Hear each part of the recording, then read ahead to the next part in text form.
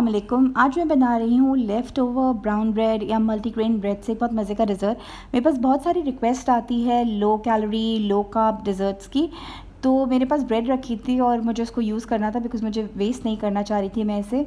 और शाम का टाइम था, कुछ अच्छा डिज़र्ट खाने का दिल चाह रहा था तो मैंने यहाँ पे ब्राउन ब्रेड के स्लाइसेस इवन जो नीचे के बचे हुए स्लाइसेस होते हैं, जो बच्चे छोड़ देते हैं, घर में कोई भी नहीं खाता है, आप इस रेसिपी में उनको भी यूज़ कर सकते हैं।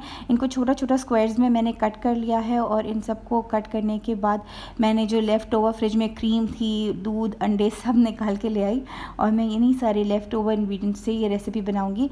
दो अंडे लिए हैं मैंने इसमें और मैंने इसमें दूध डाला है। आप कोई सा भी दूध ले सकते हैं, मैं क्वांटिटी नीचे मेंशन कर दूँगी। साथ में मैंने इसमें थोड़ी सी क्रीम डाली। अगर क्रीम नहीं हो तो कोई मसला नहीं है, खाली दूध और अंडे से भी बन जाता है। अच्छा मैं इसमें ब्राउन शुगर ऐड कर रही हूँ। आप चाहें अगर आपको ज़्यादा मीठा बनाना है तो आप इसमें वाइट शुगर थोड़ी वाइट शुगर भी ऐड कर सकते हैं, ठीक है?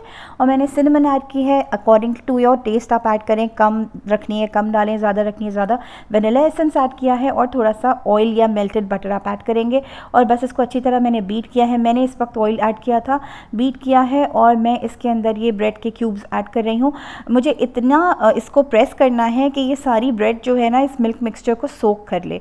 अगर मुझे लगेगा कि ये ड्राई हो रही है तो मैं ब्रेड्स को रोकूँगी और पहले इसको सोक करूँगी।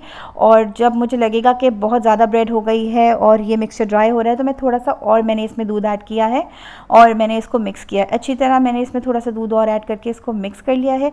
यहाँ मेरे पास एक ग्लास की बेकिंग डिश है एट बाई एट की। इसको मैंने मक्खन से ग्रीस कर लिया है। वन डिग्री सेल्सियस पर इसको मैं थर्टी मिनट्स तक आ, मैंने बेक किया है। इसको अच्छी तरह स्प्रेड करके आप बेक करेंगे। आप चाहें तो एक स्टील का या आ, आपके पास नॉन स्टिक पैन हो बेकिंग पैन उस पर रख करके आप इसको स्टीम भी कर सकते हैं। ये देखें इतना प्यारा गोल्डन इसका क्रस्ट बन गया था और ये इतने मज़े की ब्रेड पुडिंग आपकी रेडी हो गई थी इन नो टाइम और वो भी आपकी लेफ़्ट ओवर ब्रेड से जिसको कि आपने यूटिलाइज़ किया और वेस्ट नहीं किया। इसके नीट स्लाइसिस कट जाते हैं और स्लाइसिस कट के निकल आते हैं। अब मुझे खाना था थोड़ा ज़्यादा मीठा तो मैंने इसके ऊपर थोड़ा सा कंडेंस मिल्क रिजल किया है और बच्चों ने इसको गरम गरम ब्रेड पुडिंग को आइसक्रीम के साथ खाया है।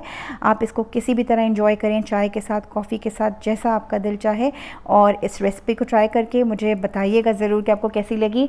इन जल्दी नेक्स्ट रेसिपी पोस्ट करती हूँ। अल्लाह हाफिज़। Don't forget to subscribe and hit the bell icon